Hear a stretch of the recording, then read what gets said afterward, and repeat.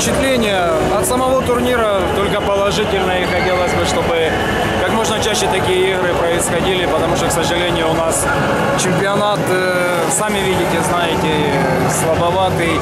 И игры такого накала, такого уровня хотелось бы, чтобы почаще были. И это будет также как, как для гандбола, для нашего, для развития очень здорово, так и будет э, приятно и болельщикам ходить и смотреть игры такого накала. Поэтому я желаю только того, чтобы гандбол шел вперед, развивался и как можно больше появлялось команд и таких игр.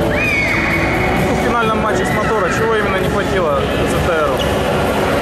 Ну, как бы не банально это звучало, и опять повторюсь, более длинная лавка и больше опыта у команды «Мотора» в связи с тем, что они прошли групповой этап Лиги Чемпионов и вошли в, в одну восьмую Лиги Чемпионов. Поэтому за счет этого я считаю, что где-то нас не хватило. И...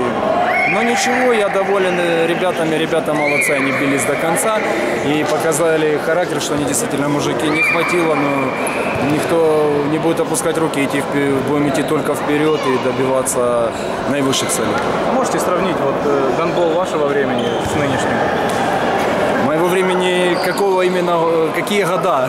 Потому что я, это было 20 лет как прошло, поэтому те- что вас интересует? Если еще три года назад, то где-то уже пошел гандбол вперед. Э, По сравнению с 10 десятилетней давностью, конечно, очень сильно гандбол изменился. Он начал более стал более силовой, более быстрый, поэтому.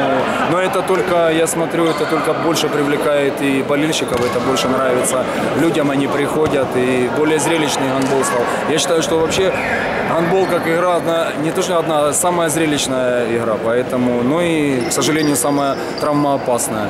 Но от этого, если это профессиональный спорт, здесь от этого никто не застрахован. Спасибо.